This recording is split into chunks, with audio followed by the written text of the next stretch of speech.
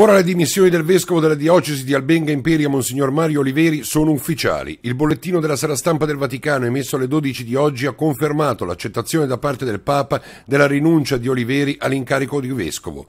Al suo posto subentra a tutti gli effetti Monsignor Guglielmo Borghetti ad Albenga dal 25 marzo del 2015 in veste di vescovo coadiutore.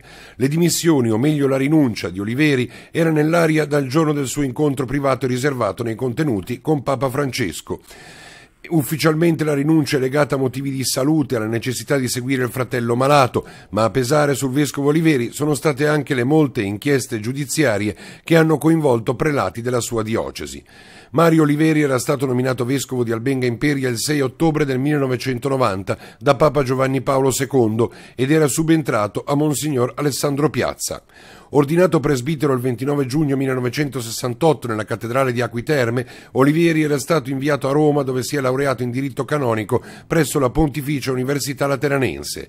Dal 70 al 72 aveva frequentato i corsi della Pontificia Accademia Ecclesiastica e il 1 luglio del 72 è entrato nel servizio diplomatico della Santa Sede, dapprima come segretario della Nunziatura Apostolica di Dakar in Senegal e successivamente a Roma presso la Segreteria di Stato come segretario di Monsignor Giovanni Benelli poi diventato cardinale. Dal 1978 al 1985 ha prestato servizio nelle nunziature apostoliche di Londra e di Parigi, per essere poi richiamato a Roma presso la nunziatura apostolica in Italia e nel 1987 ha ricevuto il titolo di prelato d'onore di Sua Santità.